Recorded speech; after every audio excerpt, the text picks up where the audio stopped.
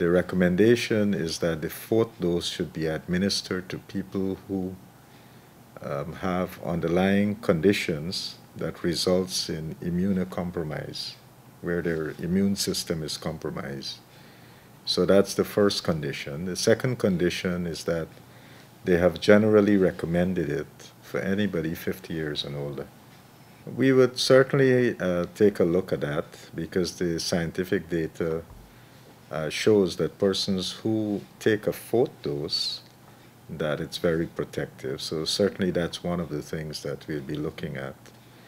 Also, there is a recommendation from the CDC and the US FDA that for persons uh, 12 years, um, they can get a booster dose. So that's something that we will also be looking at because our population between 12 to 17 we have only been giving them the primary dose, that's the first and second dose. And now we'll probably have to consider uh, whether we should administer the booster dose. So that's something that we will consider.